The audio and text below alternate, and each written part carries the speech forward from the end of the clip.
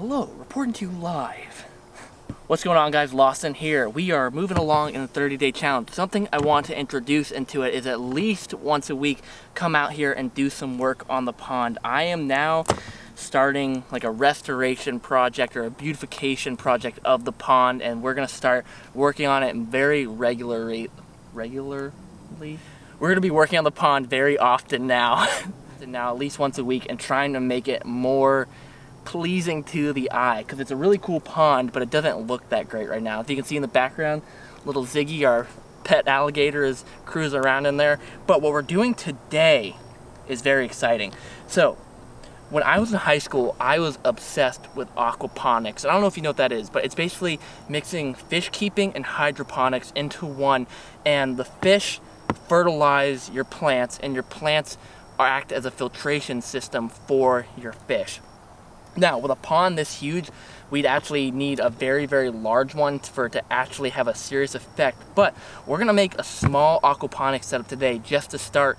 And it's like basically creating a natural filter for the pond. It's gonna remove a lot of the bad stuff that's in the water and it can also help clear up the water in the pond. So today, really quickly, we're gonna try to create a little aquaponic setup for our pond and make a natural filter for this pond here.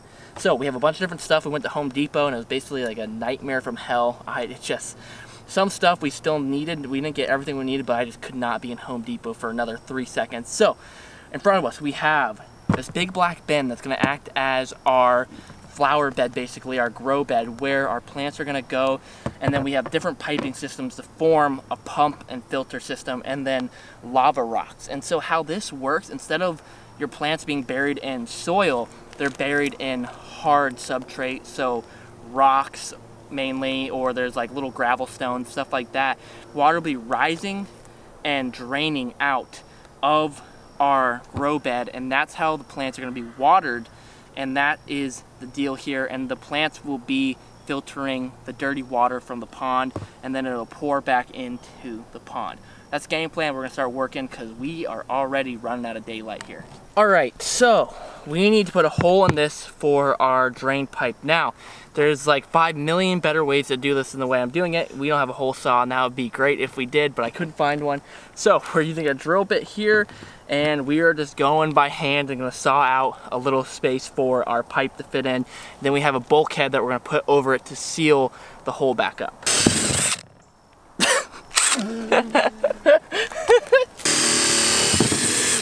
It's maybe one of the worst things I've ever done.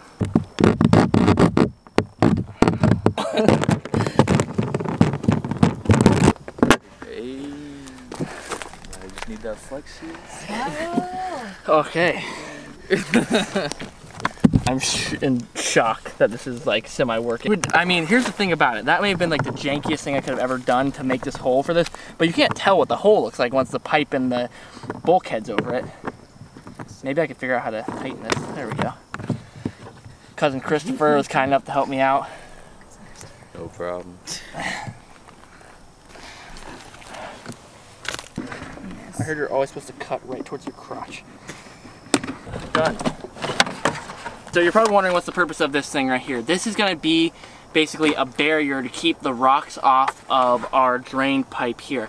So we're going to drill a bunch of holes in this with the drill so water still comes through it, but we don't want gravel to get around our main standpipe in there because we're going to make a bell siphon that goes around that. What your completed bucket will look like. Very holy, very spiritual, and we'll put that back in. holy. I like your joke there. Very holy, huh? Good one, Dad. Good. We're gonna dump some of these lava rocks in here. Normally we'd wash them out, but it's not that big of a deal to be honest in this big of a pond.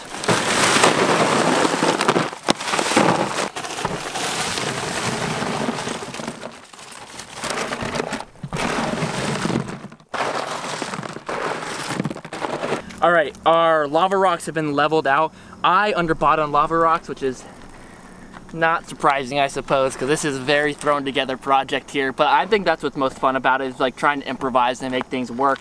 So what we're gonna do, we are gonna cut our standpipe down just a little bit, and then we're gonna create a bell siphon. So the whole idea is you see this pipe right here, is completely clear, so water and no rocks will be sucked into it and block the flow of the pipe.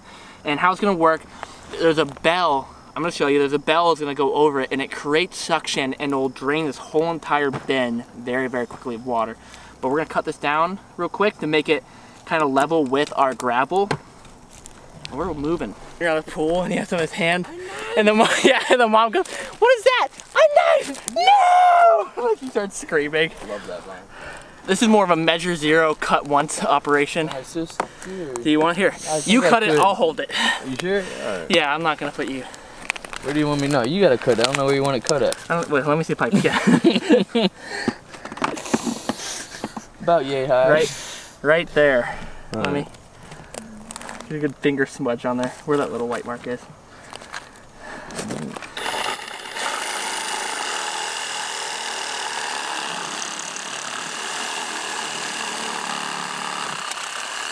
Safety 101. Have your cousin stab you in the heart with a sawzall. We're only close enough to be safe. We are basically out of light today. We could finish it, but I don't want to do it in the dark, so I can actually show you guys what's going on. We're gonna pack everything up and we'll resume this tomorrow. All right, we are back out at the pond here, continuing where we left off yesterday. And it is beautiful out. Overnight, kind of a little bit of a cold front swept through and it has gone from being in like the 80s to Florida, it's about 71 degrees. And I know pretty much everywhere else in the country that's hot, but here in Florida, that's cool and nice. So, we're here, got all our supplies still. We got Ziggy holding it down in the back over there. We are gonna finally hook this thing up and get it running. Last night we did the groundwork, the leg work, and got it all put together. Now we got to set it up, get it running, and see how she goes. The thought is right now, I'm gonna put the back end of the grow bed on this mound right here, and then these cinder blocks are gonna be like halfway in the water here. Ugh. So, the bed will be overhanging into the water, and obviously I'm gonna do a little bit more adjusting to it than that once we get it all set up, but I'm gonna place the bed here and see if we can get it set up right. Okay, so we actually had to move the grow bed a little bit so we could actually reach power to it. Turns out my extension cord wouldn't reach, we're way too far away. But now we're set up here, very same situation here. So we have the grow bed, the back end of it is on the ground, then the front end is on cinder blocks facing into the pond. So what I'm doing right here is I actually have a pump inside this flower pot. And the purpose of this is to keep it off of the mud so it's just not sucking in like straight, straight up dirt. So we're gonna put the pump into the pond just like a few feet out. And then we have a hose that is running our water that's gonna run it back into the grow bed. But we'll deal with that in a second. So I'm gonna wade out a little bit and drop our pump in. Oh my gosh. There's two like mega bass that just cruised by and there's a big tilapia and then a soft shell turtle just popped its head up and there's a bunch of brim. The fish here are getting used to being fed or they know that human activity means food. So like that's super cool. There's a soft shell turtle coming in. He's gonna poke, poke his head up right here like right in the grass. Hey buddy that's super cool man that's so cool and two like four pound largemouth swam by, which that's got me stoked. Dude, this turtle is like coming up and sniffing the pot.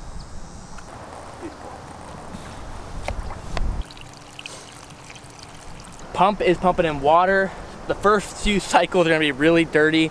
There's gonna be washing out these rocks. So right now, I actually don't even have where the water's gonna be siphoning out right now is just gonna dump onto dry land because I want it to cycle out a few times and get the initial like dirt and mud out and all the red dirt from these lava stones. And then we're gonna hook up basically a flow system to dump the purified water that's ran through the plants back into the pond. And what I thought would be really cool is eventually, not today, but eventually what I wanna do is design a type of almost waterfall system or a water flow system where it's going to be putting running water back into this pond because all of you guys know bass any type of fish loves running water and they'll gravitate towards it. So it could be really cool because we'll have this like purified water coming out dumping into the pond and the fish will be drawn to it because of all the activity. This is going to fill up and we're going to see if our bell siphon works. That's really all i'm waiting on here. So the water is going to fill up to the top of where this pipe reaches and then it should just all vacuum suck out with the bell siphon the site the the bell might be too tall. We'll see. So the plan right now is probably next week or and maybe today, I don't know.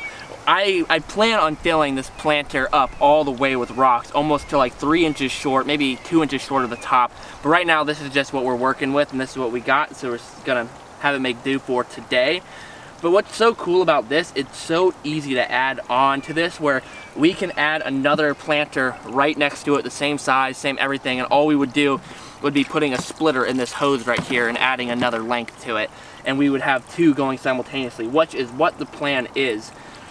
So this is gonna filter out for a little bit and then we're gonna plant the few little herbs that we bought to get in here and we'll let the plants start doing their thing and the plants are gonna act as the natural filtration system.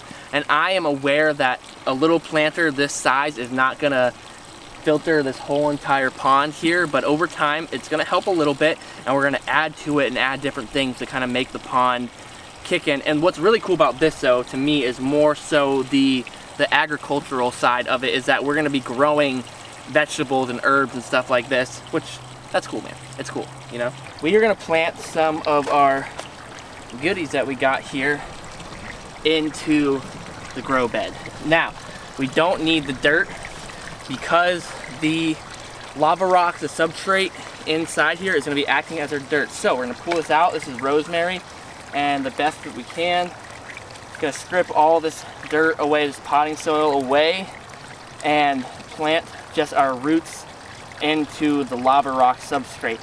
So how this is working is you have your little roots hanging down, see all these little root hangers?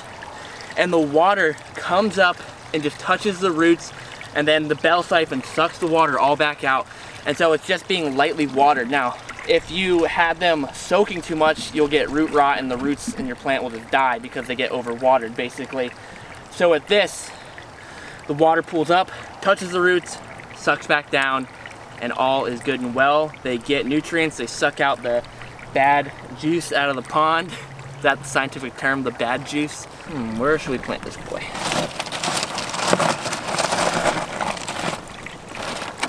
And we're just gonna push him in there as best we can.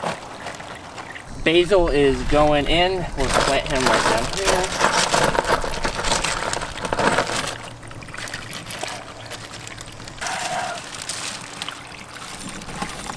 I know a lot of this has been very like half haphazardly thrown together.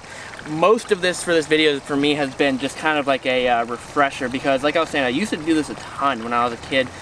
I had a huge 300 gallon aquaponics set up in my backyard and then I had multiple like mini 10 gallon ones that I had set up in my room as a kid just because I really, really was into it. And I like honestly was considering trying to do some type of like aquaponics farming or hydroponic or something like that for a career is like what I wanted to go to college for. I feel uh, I'm pretty happy with my career choice now at this point, but a lot of this has just been like really refreshing my brain on it and it's super, super fun.